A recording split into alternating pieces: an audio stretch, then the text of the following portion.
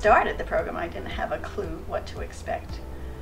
And then the fact that we had to meet each other on Zoom was a little strange. I thought, how am I going to pair up with somebody?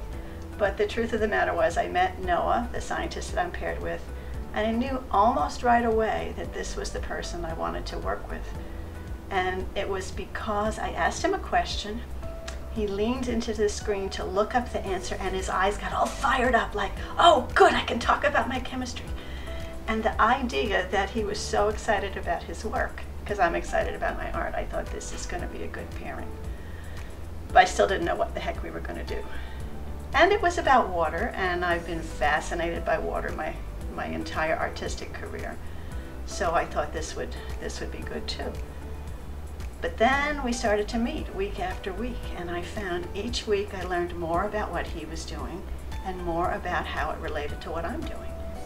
That was incredible because you think about art and you think about science as two different spheres. In fact, one of the questions that we got from someone was, what's it like to work with someone with an analytical mind when you're a creative?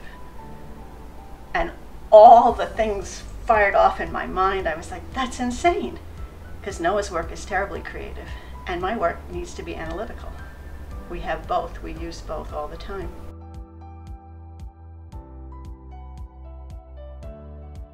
This is the story of what's happened to all those kelp beds that have been taken over by sea urchins. And when you look closely, I mean, there's the underlayer is in fact the spines of sea urchins and these sea stars that have moved in and the Dungeness crab that have been lost and, you know, um, but I think you can just get lost in also that beauty of the patterns in nature that repeat over and over. I mean, as destructive as these are, they're really beautiful. and I think we've spoke about it a few times that these panels nicely convey the message of discovery and that's what we do in science as well and you start you have this big data set and you plot it and you look at it at first and try to grasp like the big features but then you have to dive in more and more and more and you find more and more details and like these panels in the whole they will show they will give an impression but you can really go deeper and find these details and when you come back to educational purposes, kids can look and say, oh, what is this critter? And then, for example, here,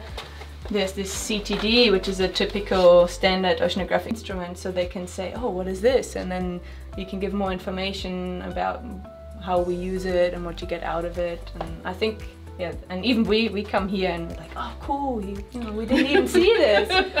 um, and I think that's also, even that, um, the print, it'll give you a sense of discovery because in the beginning I didn't see that Deb um, implemented the whole map and the ocean currents in there because you look at it and you see the fish and the code and the critters but then you look closer and it's again discovery so I think it even comes out um, in these prints.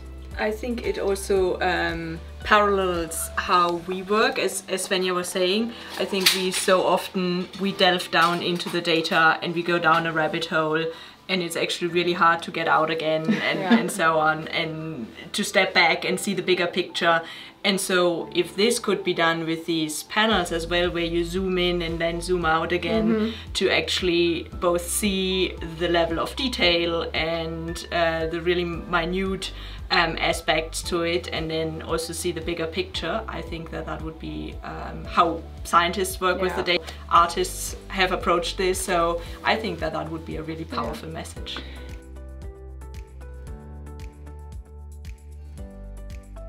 call them primary producers because they are the thing that makes life possible. They capture the sun's energy, or in some cases chemical energy, and they give us the carbon and the oxygen that we need to um, to make life possible. And you talk about like the big forests, like the rainforest. Yeah, I think it's.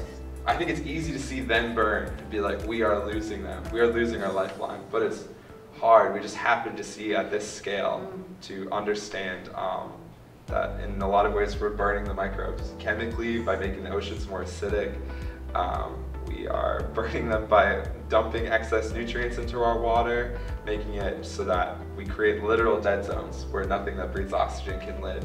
Um, and those are underwater, they're small, they're hard to see, so we don't we don't understand that we're you know burning our lifeline in a way. Something that I think oceanography has always struggled with is it feels mundane. Um, I know, that's what I'm saying. Yeah, Sabara is like bringing um, a beauty to uh, being conscious and aware of it. Space seems sexy. The ocean does not seem that sexy. After we start showing people what's really in the ocean, see, they haven't seen it. No. They, they just know about sharks, and sharks are definitely not sexy. I've always wanted to do like Osmosis Jones. Have you seen that? It's like a, it's a cartoon about the cells in your body and how they all talk to each other. I've always wanted to make a cartoon like that for, for plankton because I think they're just as beautiful and they do really interesting But, stuff you together know, too. But with the plankton, the, the forms are just, I mean, they're heavenly, really. And Yes. the detail and the texture, it's just mind-boggling. some ways in fear of it because it's so powerful. The ocean can, you know, take you if you're not careful, but it's also beautiful and, um, yeah, really striking and life-giving. Now that I'm thinking about it. If you think about it, um, the whole universe was created without a blueprint. I mean, there was no blueprint for, for the universe to exist, and it existed. So I think in everything that we do, there is a blueprint that already exists in nature. When I make a form, it's not coming out of my head, it's based on something that has been created yeah. by a power that you can call that power what you will creator god allah brahma you know everything is it's, it's the same power that creates and um, that's why my process makes it very very satisfying because it's a very meditative process just stitch by stitch um, piece by piece building up um, just delving and, and thinking about where are these thoughts coming from? Um, I think that's how I see the whole universe. I see the whole earth and I see all the creatures on it. I want you to see it because every time I look at them, I see something different, but you always have like such a unique and like powerful perspective. Um, so Because it's exciting and strange and new.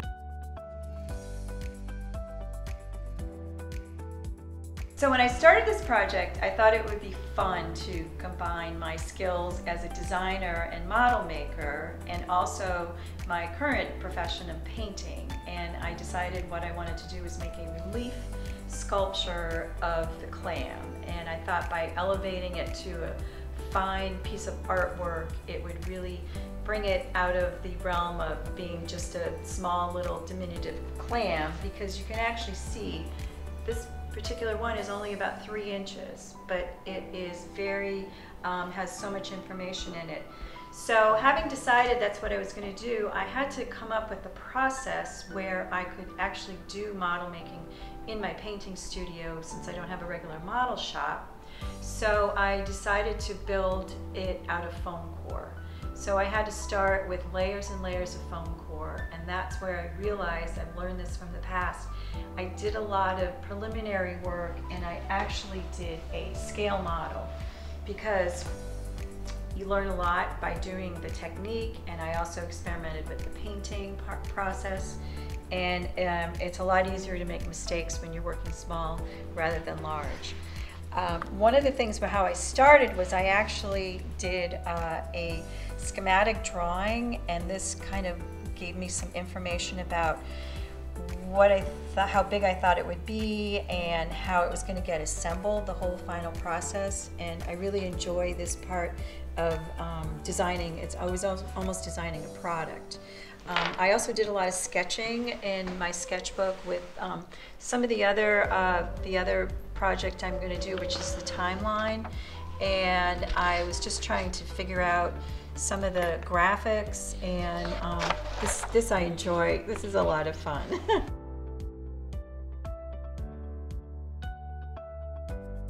invited to be part of the Synergy project. Um, I was lucky enough to partner with scientist Chrissy Hernandez, who is studying larval tuna and whether they are breeding on off the coast of New England. And she was on an expedition where she found uh, samples of the larval tuna that sort of uh, reinforced their theory that they were spawning there. So I was trying to find some way visually that I could work my way into what she was studying because she had pretty much wrapped up her research in the field and she was more analyzing it on the computer. So I started thinking about plankton, which larval tuna are in their plankton stage, which means that they can't swim against the current, they just drift along with the current. So there are so many different kinds of plankton that are in that environment that I started branching out to study them. And um, I wanted to actually see some in person, um, not just pictures that I found on the web, which I actually found quite a few. But I bought a microscope and went down to the water near where I live and collected samples and I was amazed to find that there were a lot of plankton in my samples. So that was really fascinating. Research is as sound and important and wonderful as it probably is, it's not very dramatic. It doesn't really have a story arc. You know, we tried to fit it into um, the typical uh, story of a, um, a hero's journey. And we couldn't quite do that, but we were kind of cemented on the idea of a, a story book. And one with educational value that was really important to us. And we knew probably that there might be some hardback copies of this book, but we really wanted it digital so that we could you know, it could have a wider audience. And starting to think about how we were going to get this story visualized, um, I had the idea of personifying some of what I call the characters in her research. There's carbon, there's radioactivity, there's an element called thorium, which does a big part of the job that um, she's doing.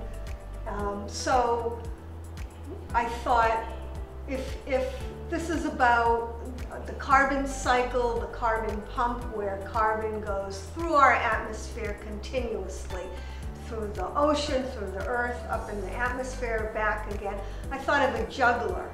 So I made this character in this kind of contained, uh, almost like a snow globe, um, and that has come to represent carbon. Um, and then I tried this other kind of image um, for the carbon cycle um, with all these gears and uh, he's on a unicycle and he's still juggling. So those two images will probably come together in some form where I can use them separately or together. Um,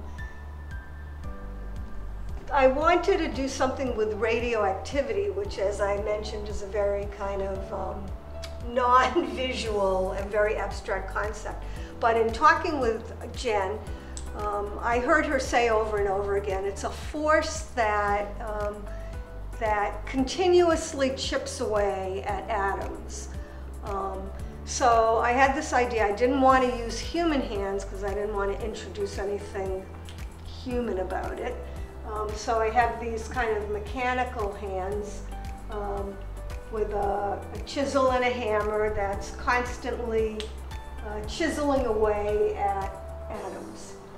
Um, over here, uh, the element of thorium, which is what we call the timekeeper, she attaches thorium to um, car, or she doesn't do it, but thorium attaches itself to carbon and thorium has a half-life because it's radioactive.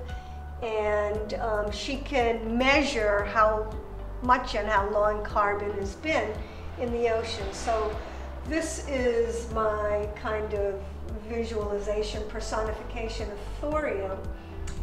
And a lot of these images start as paint on paper and then they're modified and manipulated on the computer to add um, other elements to them. For instance, in the painting, just for, because of, it's just too hard to create um, what is going to symbolize the carbon atom, which is a, like a cluster of pearls. Um, it's too hard to do that so small. So I have, I have a digital image of it, and when I get this on my computer, I can just plop that, Photoshop that image in wherever I want it. So part of this, um, the second part of uh, this project is integrating the text um, with the imagery and setting up the pages, laying out the pages so that the text makes sense with the imagery. Um, now, this image, which is about this text, which says, Our scientist and oceanographer of all things is captivated by the beauty of the natural phenomena around us. This image doesn't e exist in paint or on paper. It's um, a, a, bunch of photoshopped images um, looking as if somebody's looking through binoculars um, to show the kind of the whole panoply of uh, nature, sea life and plant life and um, all kinds of creatures, birds. This is kind of uh, air, ocean, the depth of the ocean, carbon atoms, phytoplankton. Again, this image does not exist on paper or in paint. It's all of these images which I painted separately that I then can compose on the computer and make an image.